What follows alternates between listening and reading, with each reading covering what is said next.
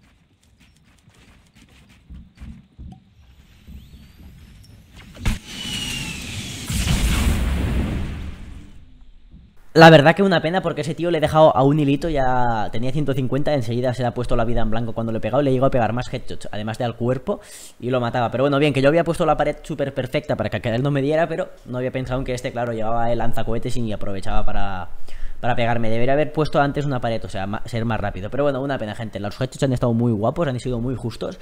Y, madre mía, hubiera molado también que hubieran sido con el nuevo, con el francotirador nuevo porque el ruidito que hace pues mola más y cuando pegas en la cabeza sale 300 y pico, no sale 260 y algo que sale con este, con el de cerrojo, pero bueno, da igual.